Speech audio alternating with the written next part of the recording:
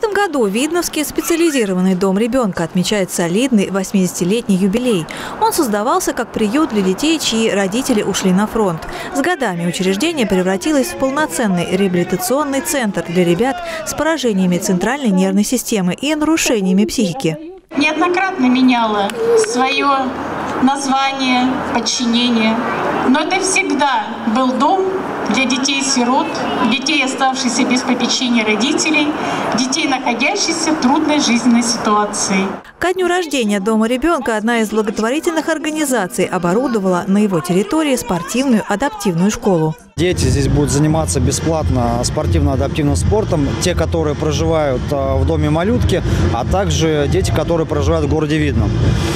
Наш фонд приобретает весь необходимый спортивный инвентарь, оплачивает тренеров, тьютеров, ну и, соответственно, как бы всячески э, содействует и поддерживает э, данную школу. Здесь появились трассы для катания на лыжах и лыжероллерах, отапливаемый павильон с раздевалкой и комнатой для занятий, площадка для игры в футбол и волейбол. Лыжероллерная трасса будет способствовать физическому, умственному, эмоциональному, психологическому развитию детей. Вы занимаетесь очень важным и благородным делом. Зажигаете огоньки радости в глазах детей и дарите надежду их родителям. Благодарим вас. Как здорово, что есть рядом с вами люди, которые помогают и участвуют. Хочу, чтобы в вашей жизни, сейчас мы смотрим все Паралимпийские игры, вот, у нас уже есть лыжероллерная трасса, теперь мы ждем от вас э, чемпионов. Все необходимое оборудование для занятий уже лежит в шкафчиках раздевалки. 51 комплект по количеству воспитанников дома ребенка.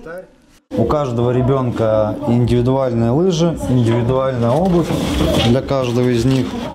Также была приведена в порядок территория дома ребенка. Вдоль лыжероллерной трассы и по периметру спортивной площадки было высажено 800 туй. Деревья жизни, как их многие называют, не только красивы, но и благотворно влияют на дыхательную и нервную систему организма и очищают воздух. Екатерина Борисова, Александр Логинов, Елена Кошелева. Видно это.